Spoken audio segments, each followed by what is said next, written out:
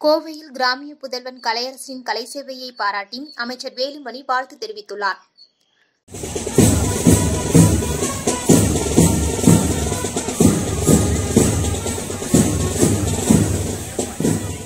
Tamil Nadu para Olympic சங்கம் மற்றும் ஆலயம் அறக்கட்டளை இணைந்து நடத்தும் பதினாறாவது மாற்றுத்திறனாளிகளுக்கான விளையாட்டுப் போட்டிகள் கோவையில் துவங்கியது.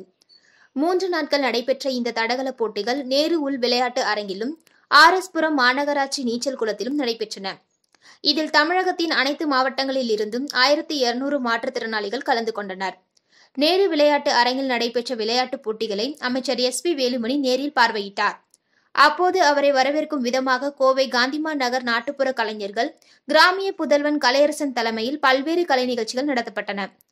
தமிழர்களின் பாரம்பரிய கலைகளை பறைசாற்றும் விதமாக அமைந்த இந்த நாட்டுப்புற கலைகளை பார்வையிட்டு அமைச்சர் பாராட்டு தெரிவித்தார். அப்போது பேசிய அவர் சர்வதேச தரத்திலான மைதானம் அமைக்க விரைவில் நடவடிக்கை எடுக்கப்படும் என உறுதியளித்தார்.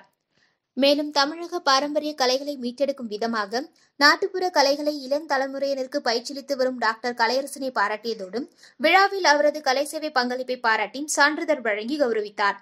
இதனைத் தொடர்ந்து பல்வேறு போட்டிகளில் வெற்றி பெற்றவர்களுக்கு பரிசுகள் வழங்கப்பட்டன. நிகழ்ச்சியில் மாவட்ட ஆட்சியர் ராசாமணி மாநகராட்சி ஆணையர் Kumaravel Pandian MLA Amman Arjunan Tamil Nadu para Olympic சங்க நிர்வாகிகள் மற்றும் மாற்றுத்திறனாளிகள் என பலர் கலந்து கொண்டனர்.